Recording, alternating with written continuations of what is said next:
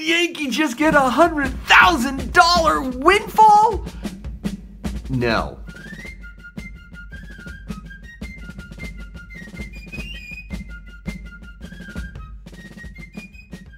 Hey everybody, thank you so much for watching Yankee Stacking.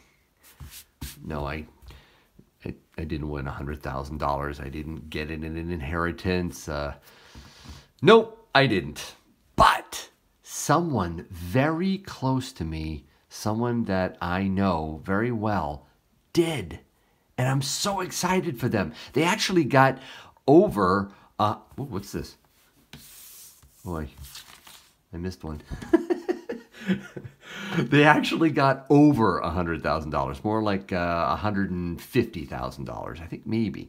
Uh, but they have some debts they're going to be able to um, pay off, and the gentleman said, "Yankee, I've got a hundred thousand dollars that I would absolutely love to be able to invest cash." Hmm. what am I, a financial advisor?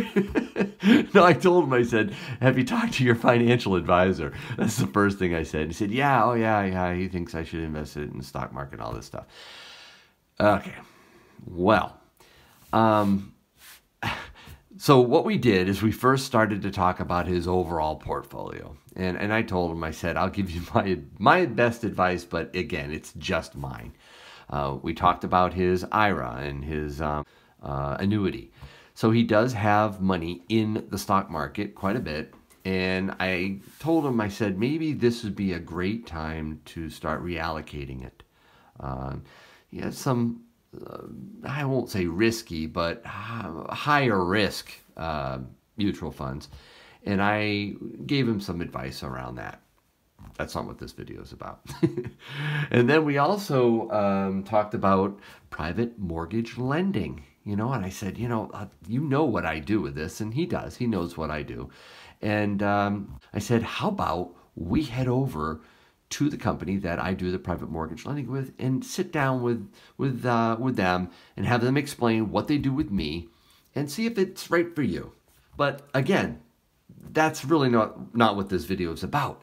This video is about what to stack if you had $25,000 out of the $100,000. And he's really interested in getting into precious metal stacking, which I'm excited about. So right after we left the company uh, where I do my lending, I said, dude, let's go to the local coin shop. Let's go to Tim's. Come on, man, let's go. This will be so much fun. and he was like, yeah, let's do it. So I'll, I'll show you some clips from it. It was a lot of fun. Tim was really happy to see me and, and it was really cool to be able to introduce him and, you know, just kind of show him around, show him the different stuff that I stack, some of the things that I don't stack, but are really beautiful. And uh, so we talked about that for a while. Um, just had a good time with Tim. Um, you know, he asked a lot of questions. Tim was very knowledgeable. And it was kind of neat to hear Tim say that a lot of people are going to his uh, local coin shop saying that Yankee sent me, or do you know Yankee, or or do you watch YouTube and do you watch Yankee uh, Stacking's channel? And I'm like, whoa! Tim was like, dude, you're sending a lot of people here, so I was very happy about that. I was like, good, supporting him, he deserves it. So I'm hoping he can get into and wants to get into the lending that I do with private mortgages. So if that's say 75,000 that he does with that, what should he put the other $25,000 into? I'm asking you guys that, and I'm going to show right here what I would suggest he does with that $25,000. All right. First thing I think he should pick up is gold. That's right, gold. He remember, he has no precious metals, right? So that helps. I know the rest of his portfolio, so that helps me a bit too, but right now, the first thing I think he should buy is gold. And not a Yankee cannon necessarily, but I suggest that he pick up quarter ounce gold maple leafs. one of my absolute favorite fractional gold to stack. I'm going to bring this one in. Doesn't have a, a cap on it. Uh, the cover's off. And you can just see how gorgeous. but it's not just 24 karat yumminess. There's other great aspects to a Canadian gold maple leaf. There's the security features that they have in the newer ones, which I think are really important, uh, like those radial lines and the uh, privy marks. We're talking a quarter ounce, so the premiums are, are quite low for a quarter ounce. Uh, when you get into the 10th ounce or 20 ounce, you're paying a lot for that. It is four nines fine gold. Oh, did I mention it's 24 karat? And the Royal Canadian Mint loves to change these up a bit. I think I actually have another one here. It has the uh, maple leaf on it, but it is a more of a commemorative. And yeah, it has Queenie on the other side. but they they have all kinds of different styles and stuff. So it's really fun as well as a great way to stack. But gold would be my number one choice. And I would think the best way to go would be one tube. Now, I'm going to uh, show you an APMEX price for one tube of quarter ounce Canadian maple leaves uh, as of today, and it's Saturday. You can see the price right up there and what it's at, uh, where gold's at. It's over 15 now. And I think it's possible he can do better than that. But for, for the sake of this video, I'm going to use these uh, screenshots, these amounts right here as sort of the basis of, uh, of uh, the pricing here. So for 20, we're looking at $8,200. All right, so let's, uh, let's slide these out of the way. And let's bring my second suggestion for him. Should be no surprise. It's a monster box of American Silver Eagle. So we had a lot of fun, uh, you know, had a lot of fun showing him the American Silver Eagles uh, that uh, Tim had, and I explained how I like to get them. I like to get them either cull or BU. There's benefits to both. Here's a, a, a roll of circulated. You can see some of the toning on the sides. I don't care. I'm going for the metal. Here's a, a BU. So I showed him that. I said, you know, American Silver Eagles, fantastic way to stack government silver issue, uh, government minted silver bullion. Woo, awesome. I want to show you something else. Yeah, I got one more roll. Tube it up, 2018.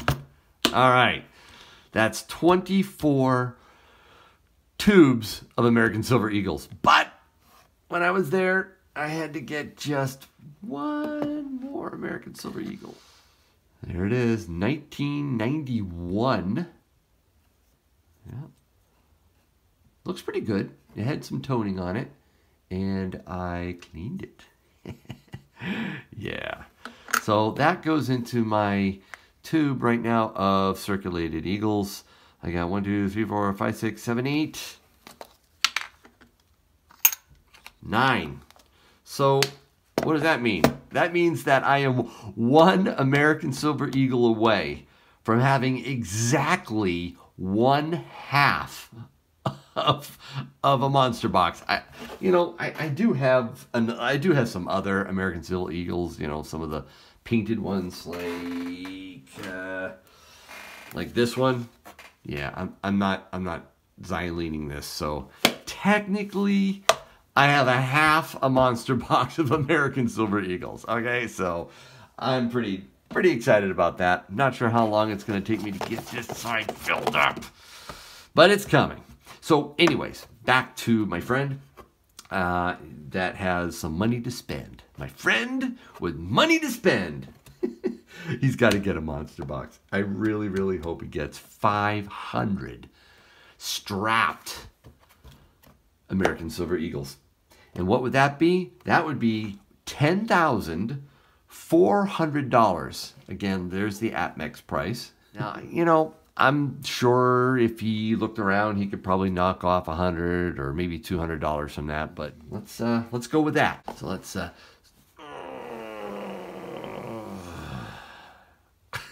use the force and get that out of here. So what's the next thing that I would suggest that he gets?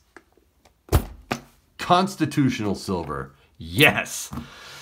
Oh, wow. This is the next round. And I, I talked to him about what constitutional silver is, what 90% uh, silver is, you know, um, why it was minted, what it's good for, how I stack it. I think he's very interested in it as well.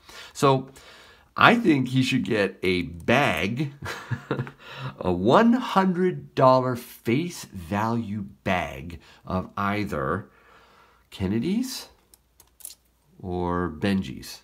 Now, I don't care which one, really. They're both pretty cool. I can see a rationale for Kennedy, maybe less wear because they're newer, 1964 at least. I can see the rationale for a Benjamin Franklin bag, you know? Um, from a, a recognizability or from a trust standpoint, they're pretty much the same. That's going to run them about $1,437. Hmm, okay. That's the half dollars. How about quarters? Oh, yes. He should get another $100 face value of pre-1965 Washington quarters. Oh, yeah, look at that. I actually love the quarters a lot. This is a, I think, a really great um, size to get. Quarters would run them about $1,366. So we've got half dollar, a bag of half dollars, a bag of quarters, and now a bag of dimes. Now he could get, um, I mean, you know, mercury dimes, but if you notice, mercury dimes can really get worn. So I told him, eh. Rosies. Yes. Go with the Rosies. Get a $100 face value bag of dimes. That's going to run him 1366 APMEX has them on sale. Hmm, interest, interesting. So there you have it. You got the gold back here. You got the monster box of American Silver Eagles, and you've got Constitutional Silver. What do you think? Oh. Wait a minute. There's one more thing. He loves bars. What is with people in bars? Oh my word. He was like, ooh, are those bars? Ooh, that's a bar. Ooh, ooh, ooh, how about those bars?